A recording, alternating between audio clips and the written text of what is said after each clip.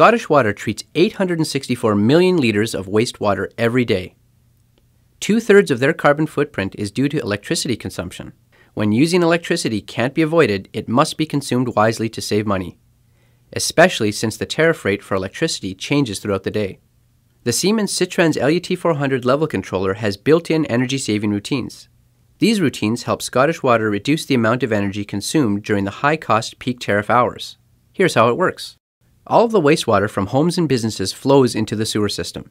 The sewer system uses a series of pipes to move the wastewater to collection points, known as wet wells. When the wet well reaches its storage capacity, it pumps the wastewater to the next collection point in the system.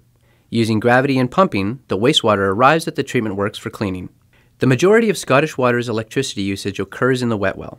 A typical wet well collects wastewater until it reaches a specified high set point. The level monitor then signals the pumps to start running and they continue to run until the wastewater reaches the low set point. It operates this way whatever the time of day or the electricity tariff rate. Pumping wastewater can't be avoided, but energy costs can be reduced by using smart pumping routines. The SITRANS LUT 400, through effective and intelligent tariff management, allows millions of pounds to be saved each year by avoiding peak pumping costs. The wet well is used to store wastewater before pumping it to another point in the collection system. The SITRANS LUT400 takes advantage of this storage capability during the peak tariff periods.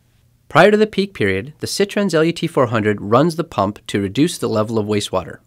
When the peak period starts, the SITRANS LUT400 switches to a different set of high and low set points. The wet well now stores more wastewater before pumping starts. During this peak tariff period, the pump run times will be shorter and less energy will be consumed. When the peak period ends, the pump set points return to the normal off-peak settings. The SITRANS LUT400 can have up to five different peak time intervals. So even if the peak time chart goes from this to this, the SITRANS LUT400 can still save money. Intelligent energy saving routines are just some of the great features we built into the SITRANS LUT400.